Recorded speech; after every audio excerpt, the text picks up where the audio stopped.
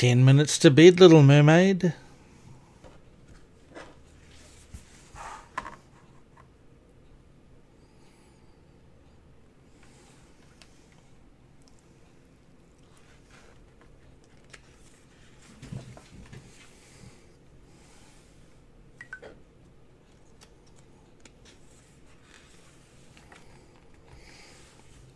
Deep below the ocean waves, among the wild sea flowers, a palace stood with shells for walls and shining pearls for towers.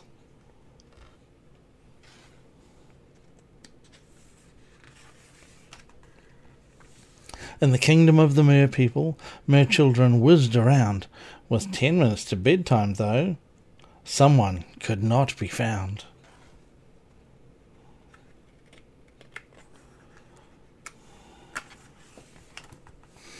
Splash was with the dolphins. They were diving, playing, leaping. Nine minutes came her grandpa's call. Splash did not feel like sleeping.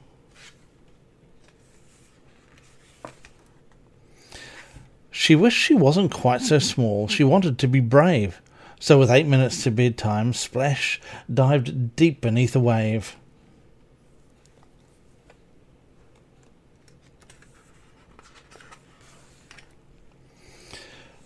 The soft and sandy ocean floor was bumping with a beat. Seven minutes called the crabs as they clacked their claws and feet.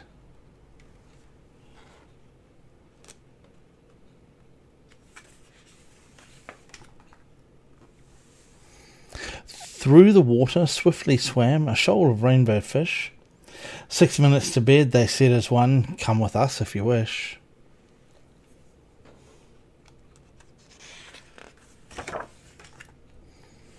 As Splash's little tail grew tired, the fish all swam away. Five minutes, croaked a turtle, as they bobbed around the bay.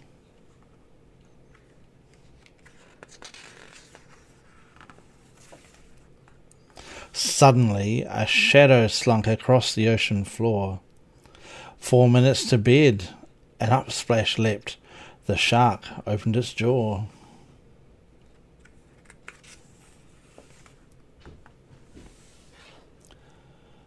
But with a plop, Splash landed on a golden island beach. Three minutes, laughed a whale. Hop on if you can reach.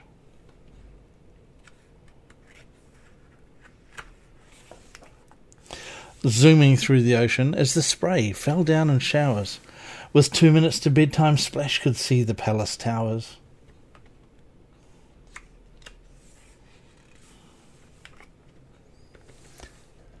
Thank you, said the mermaid, as she kissed her whale friend's head.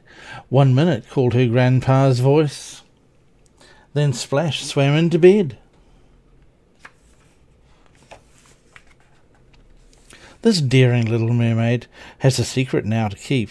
Adventure is all very well, but mermaids need their sleep.